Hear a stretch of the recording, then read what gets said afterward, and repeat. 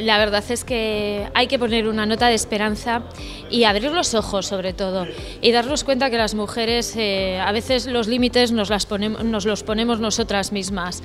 Eh, hay que explicar a las chicas jóvenes que no tienen por qué eh, dedicarse a unas carreras determinadas, sino que pueden hacer aquello que quieran. Y con, esta, con este último documental es de lo que se trata, es dar de visibilidad a las carreras de ciencias, ver a profesionales que están ejerciendo con gran éxito en su trabajo y sobre todo ver a esas chicas que han dado un paso, que están haciendo lo que les gusta y además lo están haciendo con muy buenos resultados, con muchísimo éxito.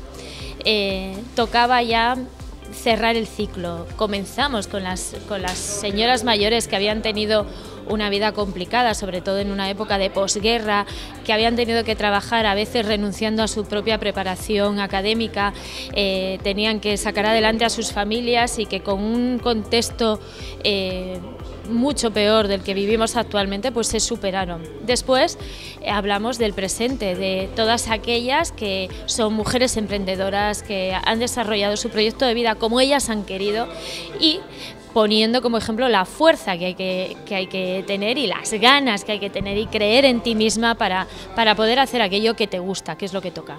Y ahora el futuro. Es que esto no puede parar, tiene que continuar. Cada día es saltar una barrera hasta que ya no haya barreras que saltar. Somos el 50% de la sociedad y necesitamos y nos merecemos y es nuestro derecho tener el sitio de eso, de ser la mitad de la población, la mitad de la sociedad.